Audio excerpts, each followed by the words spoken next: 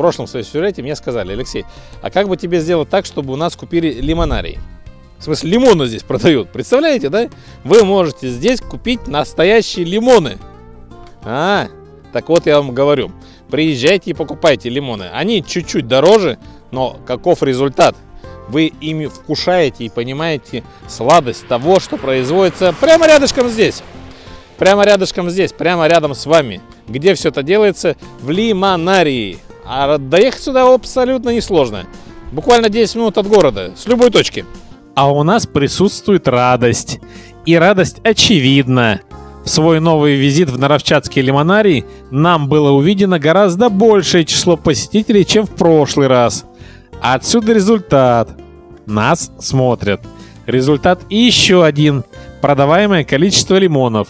Их тоже стало больше. То есть смотрят не только ТВ, но и еще и интернет, и YouTube. То есть события очевидны. Простите, но нас смотрят.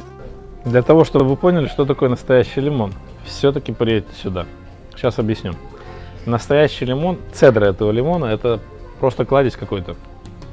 Придите сюда, посмотрите. Даже невзирая на то, что он чуть-чуть больше, чем тот, что вы покупаете в магазине.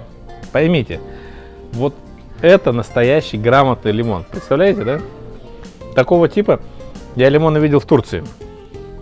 Но потом все это дело приезжает к нам. Цедра сминается, сжимается, становится неправильной. А, то, что внутри также сминается, сжимается, остается что? Остается, ну, аромат. Цедра лимона очень богата эфирными маслами, да? И понять-то надо, если вы купили что-то, которое не пахнет, ну, я не знаю, вы, наверное, деньги просто выкинули. Понятное дело, что было бы хорошо, если бы у нас лимоны росли на улице. Но, извините, это Южный Урал, у нас лимоны не растут. Хотя есть место. На Равчатский лимонарий. Здесь лимоны растут круглый год. Представляете, приезжайте сюда и покупаете то, что вам необходимо. Ну так вот, у нас будет два мнения. Человека-специалиста, который с лимонами, выращенными в Наровчатке на «ты», и лично мое мнение, но в интернете.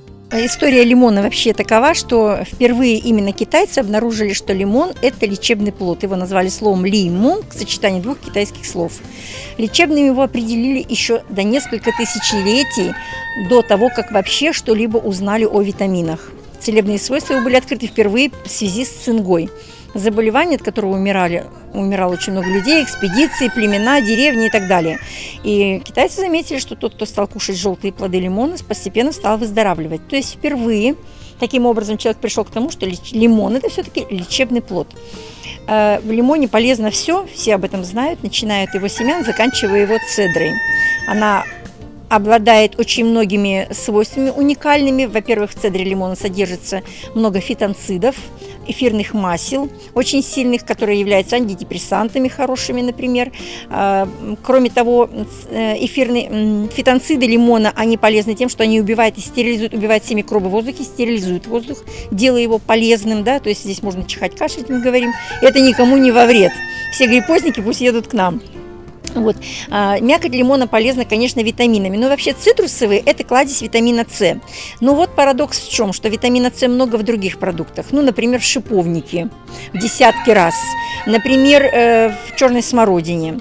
Но, тем не менее, предпочтение дают лимону, говоря о витамине С. Почему? Сочетание витамина С э, в лимоне находится в форме аскорбиновой кислоты, которая делает его уникальным. Витамин С очень уязвимый витамин, теряется при температуре, при хранении, то есть при нарезке лимона он окисляется на воздухе. И поэтому в лимоне, в цитрусовых он находится в связи с его побратимым витамином П. Когда П и С вместе, П делает его э, более неуязвимым, то есть он сохраняется в целости. Поэтому всегда говорят, почему чай горячий с лимоном издавна считался целебным, его нужно пить для здоровья да, человека. Чай сам по себе содержит витамин П, и поэтому, когда туда бросаешь еще и лимон с витамином С, получается очень хорошее сочетание, которое дает только пользу человеку. Ну, витамин С – это иммунитет человека, об этом знают все, даже маленькие детишки, которые приезжают, рекламы свое дело делают по телевизору и знают, что насколько много сегодня да, во мне витамина С, ну, так буквально, настолько я защищен от всех, от всех инфекционных заболеваний, от вирусных болезней. Ну, По-моему, не только от вирусных заболеваний, есть еще и другие вещи, да ведь? Да, конечно, э, прежде всего цитрусовые используют еще для профилактики. Ну, например, я хочу сказать о мандарине. Например, мандарин – это э, плод, который люди обнаружили, самое первое его свойство – это кровоостанавливающее, ранозаживляющее. Очень хорошо, когда какая-то инфекция, инфекционная ранка появилась на коже человека, например, соком мандарина ее лечить. Она убивает очень многие грибки, э, вызывающие кожные заболевания. Например, апельсин с давних времен ценился как антидепрессант очень хороший. Этот фрукт э, всегда использовался, например, рано утром свежий сок апельсина для тонуса, поднятия тонуса человека, для иммунитета человека. То есть на целый день получаешь заряд энергии. Э, грейпфрут вообще уникальный плод. Он еще очень мало изучен, но тем не менее сегодня доказано. Например, что это один из сильнейших ароматов в природе, аромат грейпфрута. То есть одна десятая доля грамма э, э, аромата грейпфрута даст нам 2000 бутылок лимонада, лимонада например. есть, Маленький вопросик теперь возникает. А как вот с цедрой? Что с цедрой необходимо делать? Ну, первые свойства, например, цедры цитрусовых вообще, кстати говоря. Давайте объясним, что такое цедра да. цитрусовых, да? Да, если взять лимон и Просто покажем. Любой, то у, у него структура такая, что он, покрыт кожицей, желтый или оранжевый, это цедра лимона, кожура его. Под ней находится белая губка, ее называют альбеда, это флаведа, то альбеда. Альбеда – это губка, которая на самом деле в себе содержит более, почти в два раза больше витаминов, чем мякоть цитрусовых. Понятно. Поэтому почему лимон, говорят, нужно кушать обязательно вот полностью таким, как он есть. Да, это круто и это результат. Да, пока ваши дети наслаждаются гулянием в тропиках, доехать до которых легко, и вам не надо лететь 10 часов, и 10 минут хватит. И по бензину, ну максимум литр, два, если в пробках. И вы поймете, рай на земле очевиден, и он есть прямо рядом с вами, на Наровчатской территории. Ну и надо понять, здесь не только торгуют лимонами, а торгуют лимонами вот такими. Вот прям срезали, и вы его купили. Здесь еще и лимоны выращиваются. То есть вот, пожалуйста, зеленый лимончик. Но то, о чем я вам сейчас расскажу, вы этого в эфире не увидите. Вы это вы видите в э, телеканале YouTube. Фамилия моя Челейкин. Это очень просто. Вбиваете, вбиваете мою фамилию Челейкин, две ешки. И поймете, что этими замечательными лимонами лечится не только ваш э, организм. Есть еще и другие проблемы, которые этими лимонами также лечатся. И вот для этого YouTube и все станет ясно. Конечно, очень сложно, но надо это сделать. И когда вокруг здесь люди гуляют, вам, э, мне необходимо вам рассказать об онкологии. Дело-то в чем заключается? Вы знаете, какая у меня болезнь, да? Но, может быть, кто-то и не знает. А, дело в чем заключается? В свое время э, меня от, открыл, мой череп открыл замечательный хирург. И он сделал все классно. Имя его Сак. Вот. Операция была суперовски сделана. Посмотрели турки вот, и сказали, что да, очень все хорошо было сделано. Единственное, был вариант, нехорошенький, мне это очень не нравилось, когда вокруг меня сновали девочки, и я был закованный. Просить такого не должно было бы быть. Надо бы просто было бы мне объяснить, как все это делается. Потому что я сейчас знаю, что и в Челябинске тоже иногда косяки вылетают. Вот. Но мне сделали хорошую операцию. После этого мне сказали, какая у меня проблема по онкологии. Здесь сказали, в Магнитогорске сказали, э, анапластическая троцитома вторая часть. Ну ладно, хорошо. Вот. Я поплакал, естественно. Потом уже, когда я приехал в Челябинск, где я и проходил радио, мне сказали, что у меня третья часть. Плакал я гораздо больше. Пришлось купить ноутбук и в конце концов узнать, как лечить-то дальше. После того, как я приехал в Турцию, мне сказали, что у меня глиобластома, четвертая часть. Это то же самое, что у Жанны Фриски. Представляете, да? Вот только Жанна Фриски после года лечения начала петь. А я начал вам все это дело показывать сразу же после того, как мне сделали операцию. А, после операции, э, после радиотерапии, то есть, ну, буквально два месяца я уже начал работать. Представляете, да? Вот.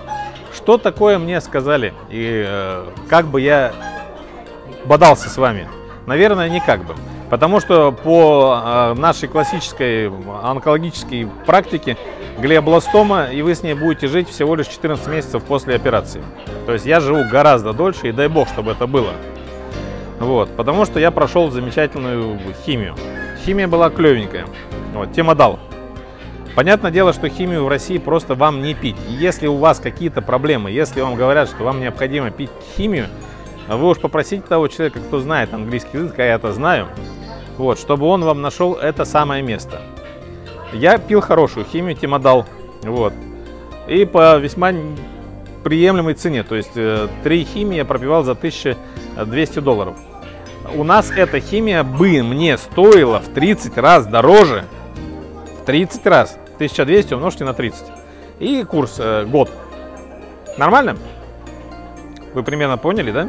Сколько бы я потерял здесь денег? 5 миллионов. Таких денег у меня, естественно, нет, поэтому я не хотел бы вас э, напрягать, потому что дело-то в чем заключается? И вы уже ничего не говорите, потому что от онкологии умрет 65% населения. Да, так оно и будет. Но тем не менее, человек, который болеет онкологией, он сам себя стимулирует. Я начал молиться. Каждое утро я читаю молитву, естественный вариант. Вот. И в остальном я не занимаюсь билибердой. То есть я не курю, я не пью. Понимаете, да? То есть те случаи, которые происходят в жизни, у меня уже не произойдут. Потому что я понимаю, что такое за проблема. Вот. И одновременно с э, химией, которую я пропивал, вот, я, естественно, каждый день употреблял сок граната. Я брал сок граната, точнее гранатовый сироп, сделанный в Турции, и привозил его сюда. То есть каждый день я выпивал, получается, по литру этого сока. Вы пили когда-нибудь гранатовый сок? То же самое, что вы лимончик попьете, да? То есть все сворачивается.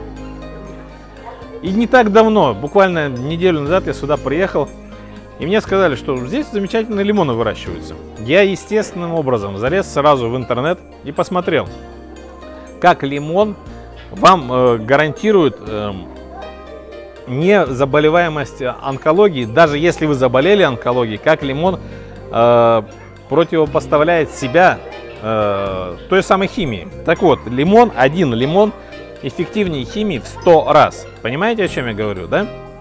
То есть те, кто заболевают, у тех, у кого есть проблема с онкологией, вам 100% необходимо приехать сюда. Конечно, вы можете где-то все это купить, но не факт, то, что это будет так работать. Что произошло за неделю? За неделю я показываю, что я делаю. После того, как я помолюсь, я вот так вот вырезаю лимончик.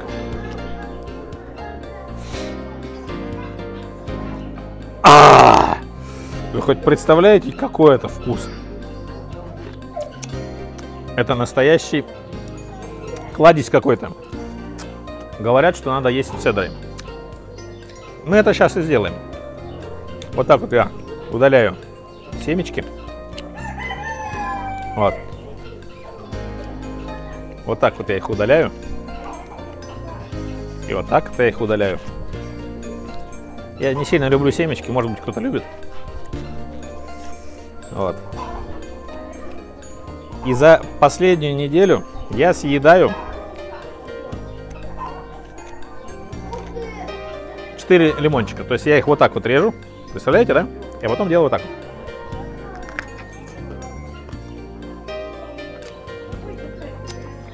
Казалось бы, что вы бы могли видеть на моем лице? Глаза у меня не становятся квадратными. Точнее, ближневосточными. Хотя аромат еще тот. Но тем не менее, вместе с гранатовым соком я это ем. Понятное дело, что у меня не будет ничего. И ничем я не заболею. Потому что это супер средство. Так вот.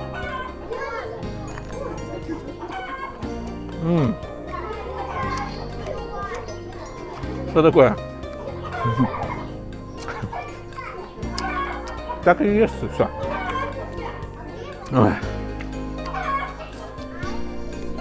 О, супер! И вот сейчас глаза начинают квадратеть. Но тем не менее, это необходимо делать тому, у кого онкология. Просто приедьте сюда. Возьмите себе 4 лимона каждый день. Каждую неделю вы можете приехать сюда. И потом уже понять, что вместе с химией вы можете работать и жить гораздо дольше, чем вам это дело расскажут ваши замечательные врачи. Мои же врачи говорят мне, Леша, молись и живи дольше. Что я и буду делать. Стоит ли ехать сюда? Да, стоит. Стоит ли вести сюда возлюбленную? Однозначно.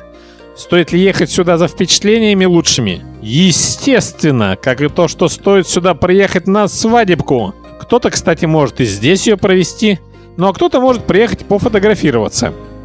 Понятно, конечно, зелень, но когда на вашем фоне лимоны, папайи и маракуйя с инжиром возникает вопрос.